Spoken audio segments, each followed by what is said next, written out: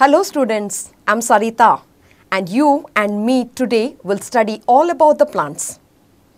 In studying the plants in module 1 we will study about the tissues, the plant tissues.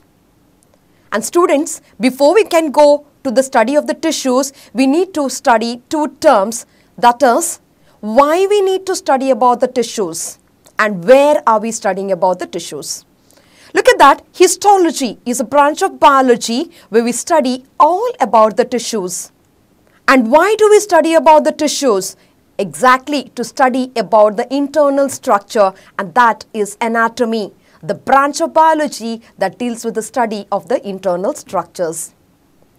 With that, the whole concept of plant tissues originated with the work of the pioneers Nehemiah Grew as well as Marcello Malpighi of whom Nehemiah Grew later was called the father of plant anatomy.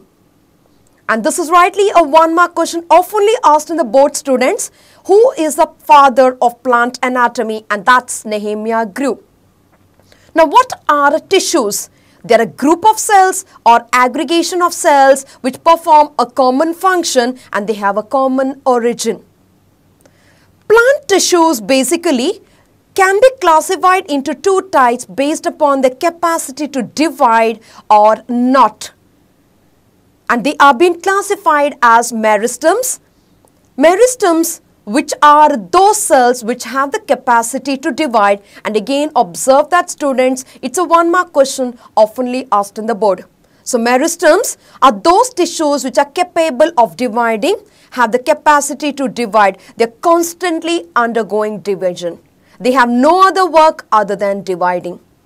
The second group of tissues, we call them as permanent tissues and these are tissues which have stopped dividing or incapable of division and they are assigned with a particular function to take part in the plant body.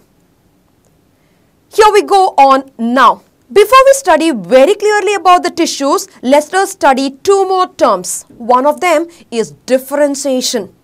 Now differentiation refers students cells that is meristematic tissues uh, becoming assigned with a function. That is less specialized cells become more specialized cells in order to perform a function. Observe there meristems get themselves differentiated to give rise to parenchyma which is a permanent tissue. Observe that meristems differentiate to become permanent tissues. So they are form permanent tissues which are performing a function. I move on to the next term that is dedifferentiation. Now this is the reverse of differentiation.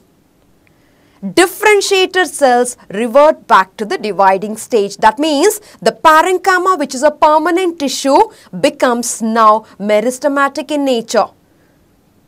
Look at that. Meristems, permanent tissues divide or dedifferentiate to become meristems. That is permanent tissues which are assigned with a function now start dividing and oftenly happens in large trees for increase of girth. Thank you.